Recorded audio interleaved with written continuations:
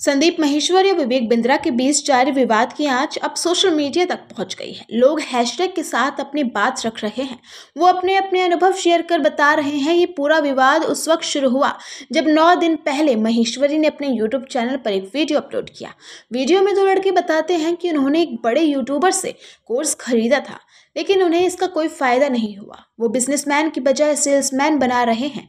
एक लड़के ने कोर्स को पचास हज़ार रुपये और दूसरे ने पैंतीस हज़ार रुपये में खरीदने की बात कही। इन्होंने कहा कि इनसे प्रोडक्ट के तौर पर कोर्स आगे और लोगों को बेचने के लिए कहा जाता है।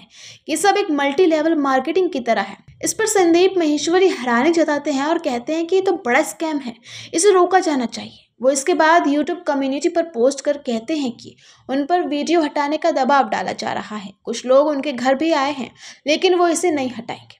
फिर क्या? विवेक बिंद्रा ने यूट्यूब कम्युनिटी पर पोस्ट कर संदीप महेश्वरी के खिलाफ एक्शन लेने की बात बोल डाली। इसके बाद महेश्वरी ने कुछ ट्वीट और किए। फिर विवेक बिंद्रा ने एक वीडियो अपलोड कर संदीप महेश्वरी को जवाब दिया। इन सब के बाद एक दिन पहले संदीप महेश्वरी ने भी एक वीडियो अपलोड किया है। इसमें वो विवेक बिंद्रा को जवाब देते दिख रहे हैं। इसमें वो कहते हैं, कुछ लोगों को लग रहा है कि ये लड़ाई मेरे और विवेक बिंद्रा के बीच है। उन्हें भी ऐसा ही लगता है, लेकिन ऐसा नहीं है। ये लड़ाई वास्तव में सच और झूठ की है।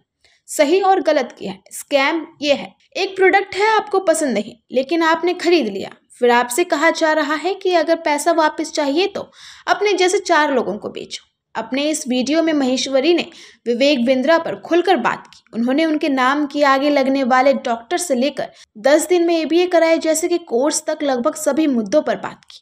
साथ ही ऐसे लोगों से भी बात की जिन्होंने उनका कोर्स खरीदा था। उन्होंने अपने वीडियो के कैप्शन में लिखा hashtag stop Vivek Bindra. इसके बाद उन्होंने लोगों से सोशल मीडिया पर भी यही ट्रेंड करने को कहा है।